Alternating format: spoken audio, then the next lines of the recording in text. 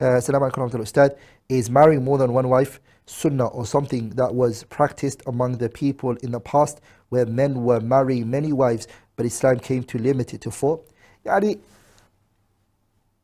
marrying multiple wives yani, at the time of the Prophet ﷺ, the Sahabas practiced it, you no doubt. There are many factors that we need to take into on board.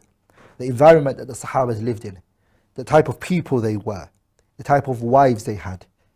A lot of those factors, if you take it out of that and you do it straight away yourself, it's very detrimental.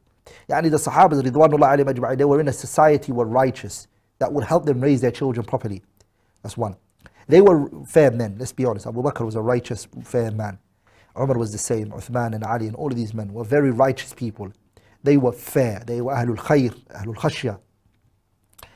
We lack that quality, let's be honest, we do.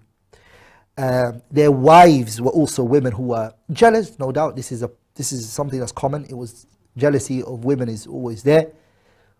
But they're different to the women that we're dealing with today. Yani the woman at that time, if they had her and her husband had a conflict, Islam would still govern it and etc. This one, when you guys have a conflict, secret services involved, authorities involved, yani uh, big problems explode from it. عرفتم? So brothers, we have to take all of that in, into consideration.